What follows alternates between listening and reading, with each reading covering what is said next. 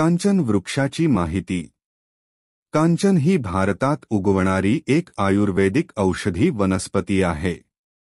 भारतीय संस्कृतीमध्ये अनेक पुरातन वृक्षांचा उल्लेख आढळतो. कुळ सिसिल्पिनेसी त्यापैकी हा काचनवृक्ष सुद्धा एक वृक्ष आहे. अनुक्रमणिका. वर्णन.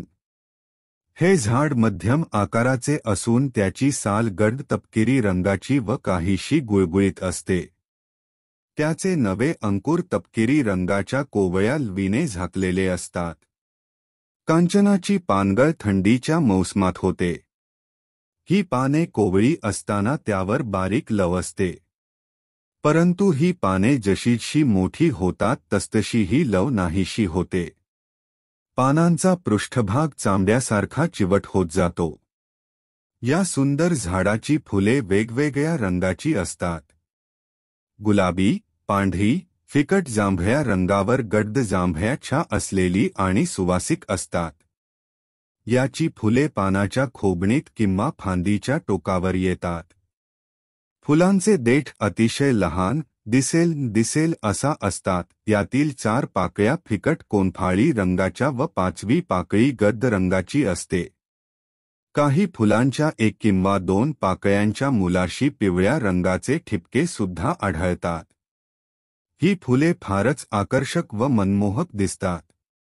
कांचन या वृक्षाच्या फुलांचा मौसम हा डिसेंबर ते मार्च किंवा एप्रिलमध्ये असतो.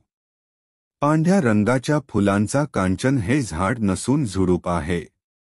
याच्या शेंगा कठीण असतात. यामध्ये दहा ते पंधरा बिया असतात. या शेंगा झाडावर असतानाच फुटतात व त्यातील बिया जमिनीवर पसरल्या जातात. आढळणारा परिसर. ही झाडे भारताच्या पूर्वेस आसाम म्यानमार तसेच महाराष्ट्र नागपूर नागपूर मध्य प्रदेश येथे भरपूर आढळतात.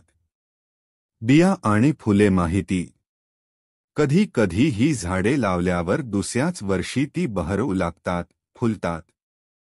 ही झाडे ब्याच प्रकारच्या मातीत रुजतात पण उंच व पाण्याचा निचरा होणाऱ्या मातीत लवकर रुजतात व बहरतात ती फार नाजूक असतात त्यामुळे थंडीचा त्यावर चटकन परिणाम होतो या झाडांच्या वाढीच्या बाबतीत किंवा खताच्या बाबतीत फारशी काळजी घेण्याची गरज नसते परंतु या झाडाची थोडीशी काळजी घेतली तर या झाडांचा चांगला फुलोरा येतो ती बहरतात या झाडाच्या तोडलेल्या फांदीही मातीत लावल्यास त्या रुजतात. या झाडची फुले सुवासिक असल्यामुळे मधमाशा त्याकडे आकर्षित होतात व त्या माध्यमातून परागण होते. त्या झाडाच्या पावसाळ्यापूर्वी पडलेल्या बिया पावसाळ्यात त्वरित अंकुरित होतात व अशा अंकुरित बिया झाडाच्या अवतीभोवती फार मोठ्या प्रमाणात पडलेल्या दिसतात.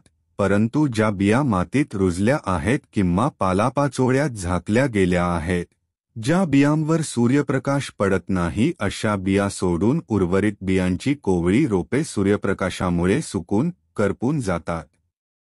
कांचन वृक्षाची पाने. कांचन वृक्षाची शेंगा. कांचन वृक्षाची फुले. कांचन वृक्षाची बिया.